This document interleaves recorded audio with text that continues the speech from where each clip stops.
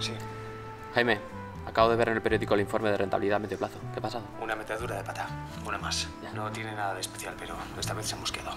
¿Estás aquí? Sí, claro, estoy en Madrid. Sí, en la oficina. He salido a fumar un cigarro. La he cagado. La he cagado, Sergio. ¿Qué va a pasar? No quieren escucharme, les da igual lo que opine. Me voy a la calle y me han despedido. ¿Ahora? No he podido ni decir adiós. He cogido mis cosas y fuera. Tienes que hacer algo. ¿Qué vas a hacer? Pues buscar una vida y pasar de ellos. Podemos vernos. No, ahora no puedo. Tengo una reunión con el director. ¿Y mañana? No, mañana tampoco. Tengo que ir con Carmen a acompañar a su madre. Ya sabes cómo se pone. Necesito verte, tío.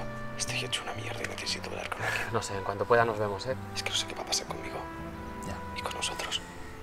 Sí, sí, no. Nos puede pasar a cualquiera. Tú me entiendes, ¿no? Me gustaría que nos viéramos cuanto antes. Eh, tío, que te quiero, ¿eh? ¿Vale? Que te pego un toque cuando pueda. Vale. Vale, Sergio, vale. Adiós. Me dejas hecho polvo, tío. Eres muy importante para mí. Sí, sí. No, un abrazo. Tengo que volver a la oficina. Oye,